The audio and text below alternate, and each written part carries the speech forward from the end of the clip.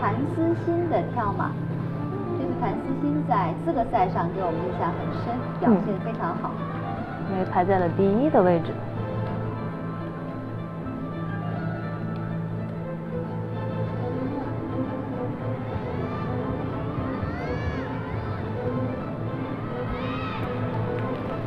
有点可惜的就是落地的时候一大步踩到了垫子外。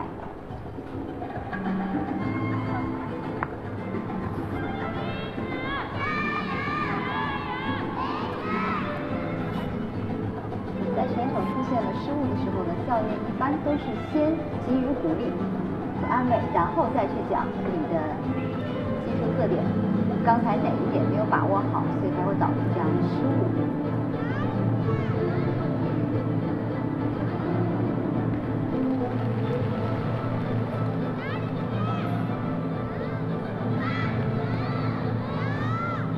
这个难度要比前面的更难，它是五点八的难度，它是剑字后手翻直立红翻转体七百二十度。